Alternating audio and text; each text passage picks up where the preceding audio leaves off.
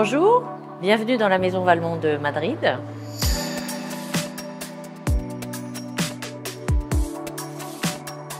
C'est une ville que j'adore particulièrement. C'est une ville qui est euh, très spéciale à, mon cœur parce que j'ai passé pas mal de temps. Cet endroit est très grand, lumineux. On sent tout de suite une intimité qui se dégage. La Maison Valmont de Madrid est un véritable écrin de beauté et d'art les Madrilènes. Elles sont les plus belles femmes, les plus raffinées, les plus distinguées que j'ai pu rencontrer en Espagne.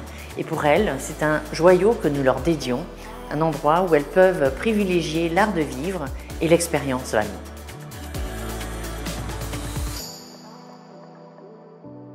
Et là, nous arrivons au lounge de la Maison Valmont. C'est un espace qui est dédié euh, à la détente, vous pouvez vous poser ici entre deux soins, découvrir euh, les éditions limitées et bien sûr profiter de l'art. Et également, j'en profite toujours pour poser les nouveautés, mes dernières créations. En l'occurrence, euh, en ce moment, vous avez Just Bloom, qui est le dernier parfum de la collection Collectione Privata. Également, ce printemps 2022, nous avons une nouvelle collection qui s'appelle Luminosity. Cette collection est dédiée à une génération plus jeune et nous avons changé les codes couleurs afin d'aborder la cosmétique de demain.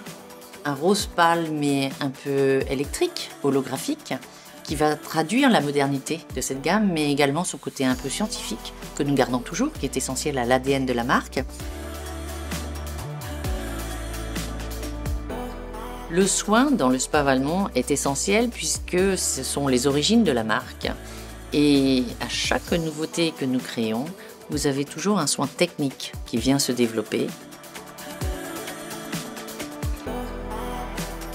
Nous avons cette expérience qui est prête à se dévoiler dans une capitale, l'une des plus belles capitales d'Europe, où euh, l'histoire, l'art et le plaisir se combinent.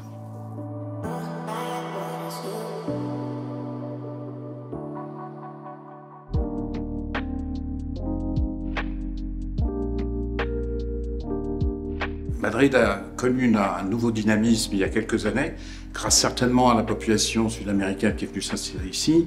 La ville s'est transformée, les façades ont été rénovées, les restaurants ont ouvert, de nouveaux hôtels ont ouvert, et c'est devenu vraiment une capitale moderne, contemporaine, où il était nécessaire d'avoir une maison Valmont.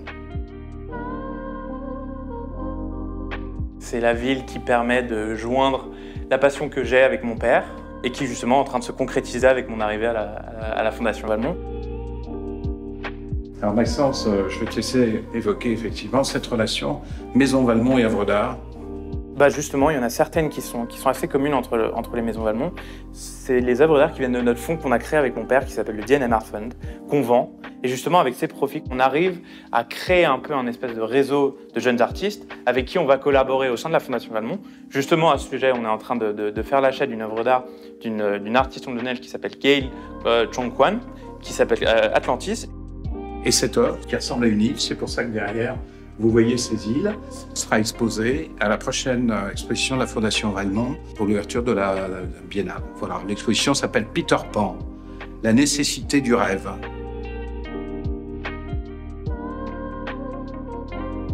Alors la maison Valmont de Madrid est certainement parmi les plus belles. J'ai pas le droit de dire que c'est la plus belle. Par contre, ce que je peux dire, c'est que l'esprit Maison Valmont est là et qu'on le retrouve dans toutes les pièces.